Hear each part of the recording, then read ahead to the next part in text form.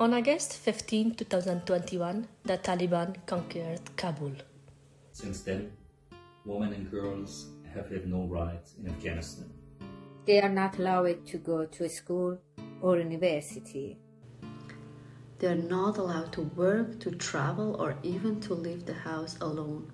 They are completely excluded from the society.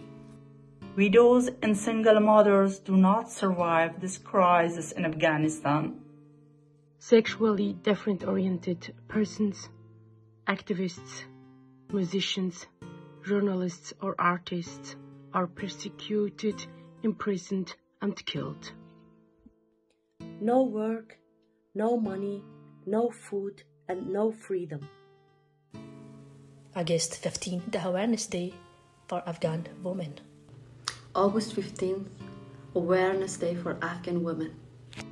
August 15, Awareness Day for Afghan women. August 15th, Awareness Day for Afghan women. August 15, Awareness Day for Afghan women. August 15th, Awareness Day for Afghan women.